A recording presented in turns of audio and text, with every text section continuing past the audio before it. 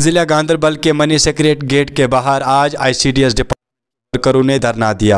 उनका मुतालबा है कि वो कहीं अरसे से तनख्वाह से महरूम हैं, जबकि उन्होंने हर समय अपनी ड्यूटी अंजाम दी है। उन्होंने कहा कि डिपार्टमेंट हर बार नोटिस निकाल कर उन्हें मुख्तलिफ़ डिपार्टमेंट में काम पर लगा देते हैं, लेकिन बाद में जब उन्हें सैलरी का टाइम आता है तो उन्हें नज़रअंदाज किया जाता है। उन्होंने डिप्टी कमिश्नर गांधरबल और अपने सीनियर अफसरान से मुतालबा किया है कि उनकी सैलरी वागुजार की जाए, ताकि वो शदीद सर्दी में किसी भी मुसीबत का सामना न करे।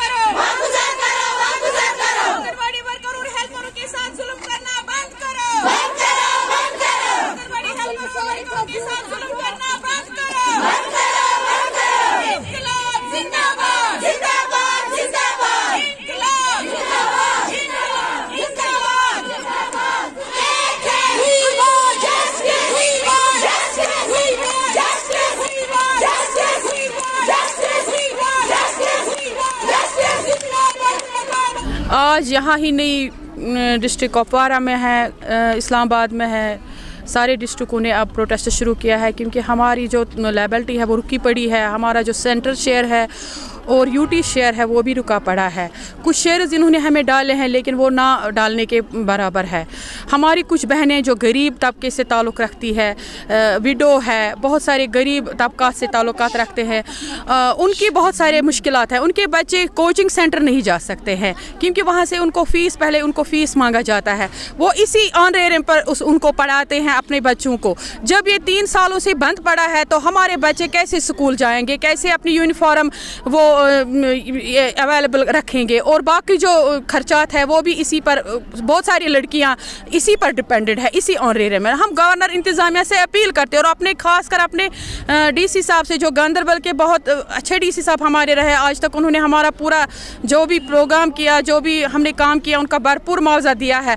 तो हम इनसे भी अपील करते हैं और ख़ासकर गवर्नर इंतज़ामिया से, जो ये हमारा ऑनरेरम के बहुत बड़े जिम्मेवार, जिम्मेवारान है। तो हम उनसे इस्तदा करते हैं कि हमारा जो आर ऑनरेरम है वो छोड़ दिया जाए लेबलिटी छोड़ दी जाए और छत्तीस हज़ार जो हमारे हमारे एरियर्स हैं उनको रिलीज़ किया जाए। और हमारा जो मुशायरा है ऑनरेरम में उसमें आज की महँगाई को मद्दे- मद्देनज़र रख कर इजाफा किया जाए। हमारा जो सर्कुलर है उसमें बहुत सारे जो बातें हैं मैंशन हुई है लेकिन वो इम्प्लीमेंट नहीं हुआ है। जैसे कि हमारी प्रमोशन है एज आंगनवाड़ी वर्कर हमें जो मैट्रिक है उसको 10 साल हो, के बाद होनी चाहिए और जो ग्रेजुएट ग्रेजुएट है उसको पाँच साल के बाद होनी चाहिए। वो बिल्कुल बंद पड़ा है मुर्दा पड़ा है हमारा डिपार्टमेंट जैसे उसको पैरालिसिस हुआ है।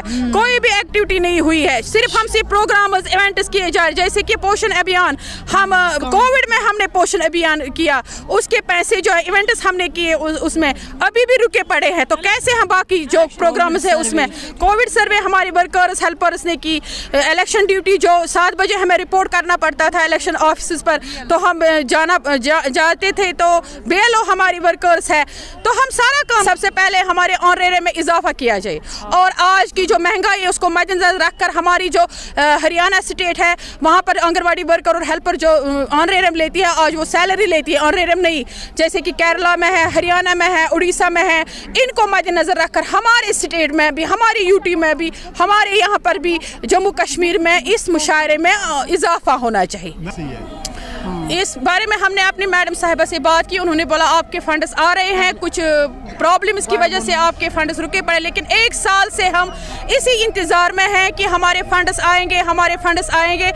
यही हमें मजबूर करते हैं जब जब हम सड़कों पर निकलने के लिए मजबूर होते हैं यही सारी प्रॉब्लम्स होते हैं? अब ये सैलाब रुकने वाला नहीं है क्योंकि हमारे साथ बहुत सारे वादे हुए हैं और सारे वादे अभी तक खोखले और